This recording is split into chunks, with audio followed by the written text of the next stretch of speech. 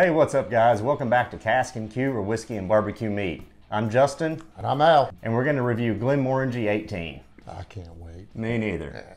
Let's go.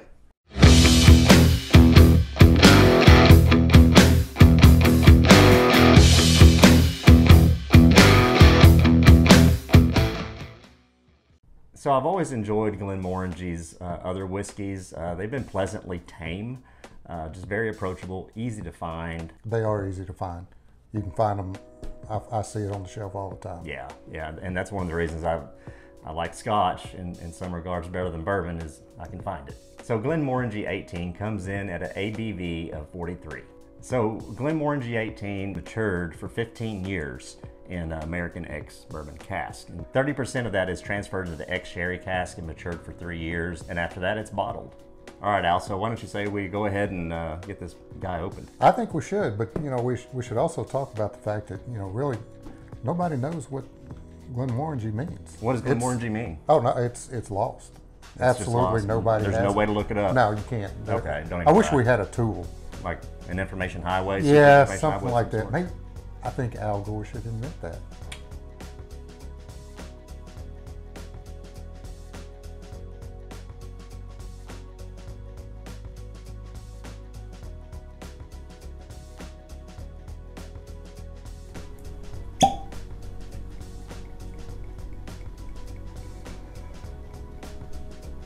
One thing I think we probably need to mention uh, is the boxing.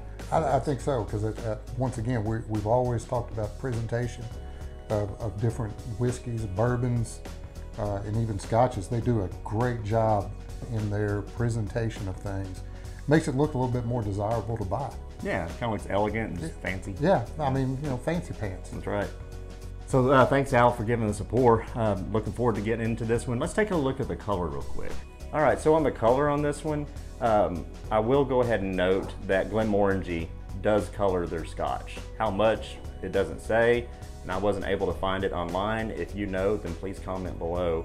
Um, but some of this color is from the uh, ex-American oak bourbon casks, and also the, um, you know, that dark kind of fruity look to it. That's going to be from the uh, three years in the sherry cask. So there is some color from the cask, of course, but how much of that is true, I'm not sure. Al, what, what do you think that when you're when you're looking at it, what do you see in terms of color? I have a dog whining behind me. Let me let him out. It's got that that kind of a, a gold golden honey Yeah, it color does. to it. It's it's very pretty. Mhm. Yeah, it's a, it's a pretty whiskey. It looks kind of, uh, I would say like, if it had a look to it, I would say it's crisp.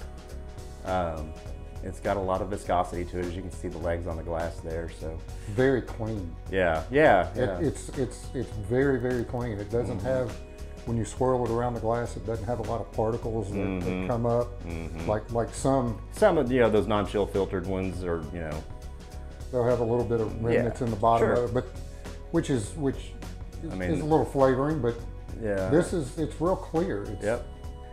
So now that we've taken a look at the color, why don't we go to the nose and see what we get? Let's go. Dried fruit. Yeah. Dried fruit really hits you.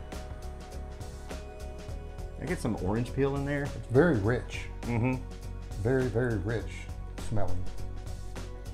There's a little bit of ethanol there, um, but it's just barely noticeable. I don't think it overpowers the. I don't I don't think it. I, I still you're still picking up flowers. Yeah. Uh, it's got a floral scent to it. Yeah, dark. I mean, it's kind of a strange mix because a lot of times when you smell a whiskey, if it's more floral based, then you're not going to get any of those bold, deep, dark, you know, fruit flavors. But I, you, this one, can, you can get you fruit do. on this one. Yeah, for sure.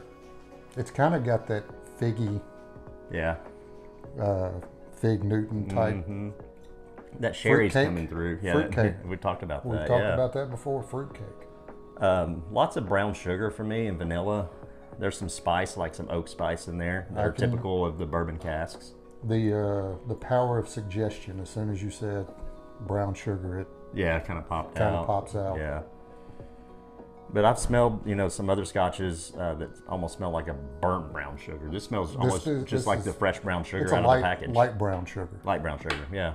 It's not a deep, not a dark, heavy brown That's sugar. right, that's right. Just just light. I agree. Why don't we uh, go to the palate and see what we got? very smooth. It's got that. Ooh. It's got a very bold flavor to it.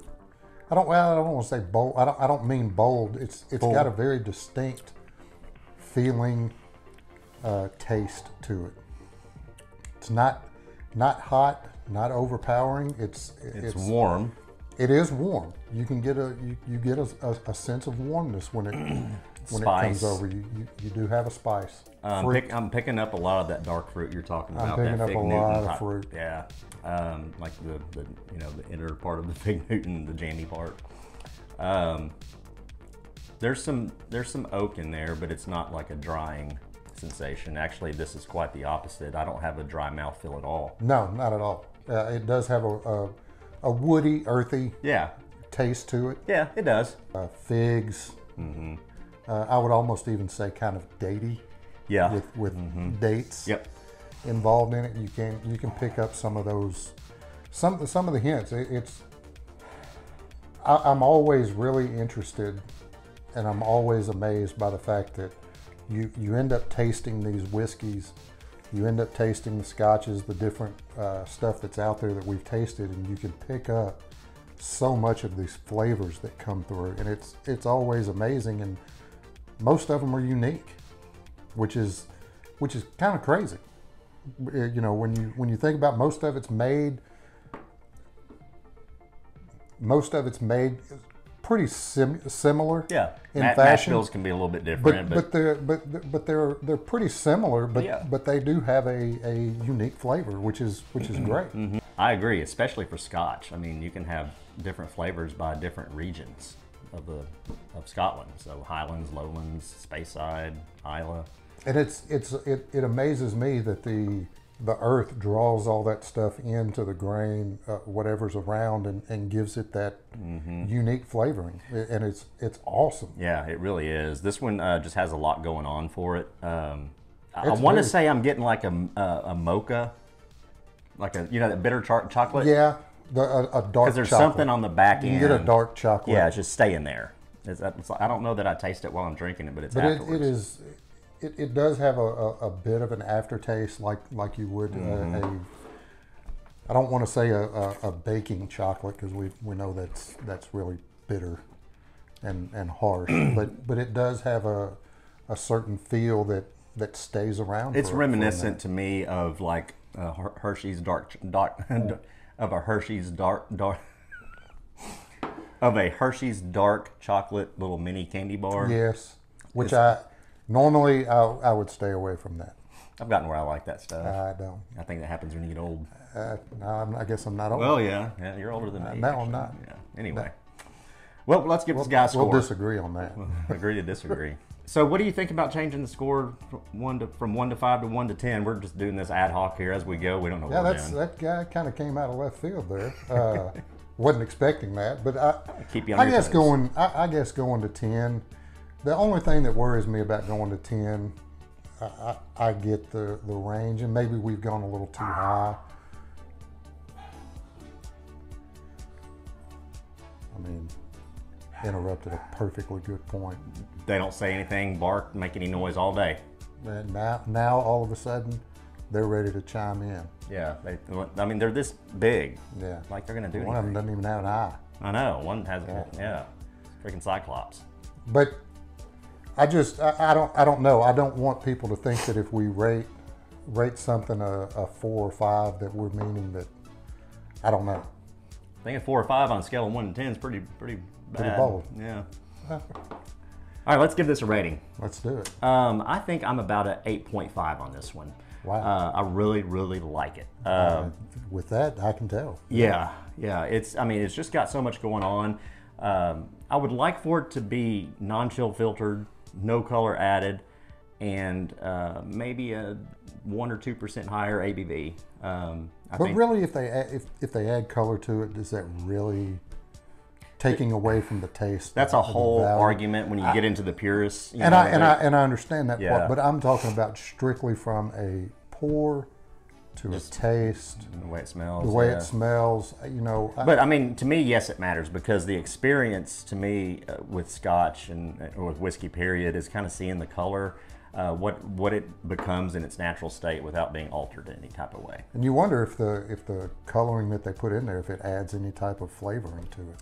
Uh, that's against the law.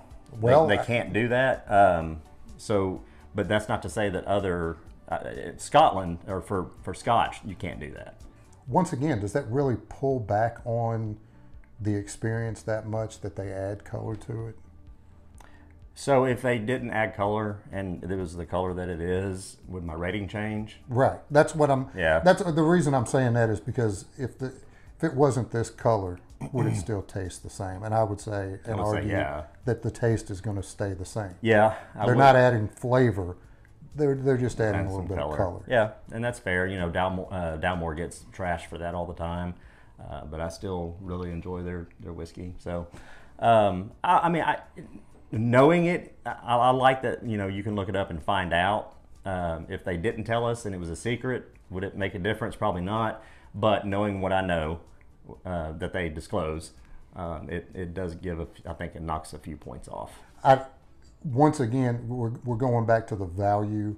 I particularly don't know how much this particular bottle costs. Right. Maybe you can fill us in. We sometimes don't talk about Fight Club, but we kind of have to bring up some of that in these reviews because it is nice for people to know what they're getting. I know, I know. I mean, the more subscribers and viewers and you know all that that we have, go ahead and like, subscribe, and smash that bell. Uh, So you're that's still gonna that's gonna gonna talk- lead, that's gonna lead us to be able to buy some of these bottles for Right. you. You and you're still not going to talk about how much it was. It was 120 bucks. okay. Well, see, that's not that's not bad. It's not. That's for an I- 18 I mean, it, it's not it's not that bad. However, that does pull the price point up a little bit. Uh, it is it is something that is a drawback when you get ready to go into and get a bottle off the shelf and you're going to spend that type of money because once again you know you're talking about 750 milliliters you're going to get some pours out of it but it can't be a daily pour no, it can't at that price point not, it can't not be for a daily pour not for the normal dude. that's why I'm. That's why I lady. pull back a little bit on my rating, is simply because of the value. This has my rating has nothing to do with the taste. Mm-hmm. Taste alone, I'd be up in the eight fives, eight Mm-hmm. sixes, uh, but I, I am going to drop it back a full point and go seven Mm-hmm. on this, just simply because of the value, Value. just simply because of the price point. Mm-hmm. I guess where I came out on that is this is an 18 year old Scotch, and I expected to be 100 or more. A- and which I, I totally agree. But once Mm-hmm. again, it's not something you're going to go into the liquor store Right. every single day and be able to say, "Hey, give me that 120." uh, at least not on my budget. uh, this is a Christmas present to myself. And that's and and, So it's not like I go out and buy those often, but um, and I and I see your point. yeah, But I'm still saying, yeah, no, you're yeah, you you're not going to go in and be able to pull off the shelf a 29.99 right. bottle. Okay, uh, so I think that wraps it up. Um, it does help this channel out a lot if you uh, go ahead and like, subscribe, and smash that bell down there. And when you watch, make sure you share it. Yeah, share Send it Send it out. out. Yeah, send it Share to your it. buddies. That kind of stuff. So, um, Al, I, I don't have anything left. You have anything? I don't have anything left. left. Uh, I, I appreciate you inviting me again to open Yeah, up man. this one up. This Absolutely, great. It was delicious. We'll do it again. Absolutely. Cheers.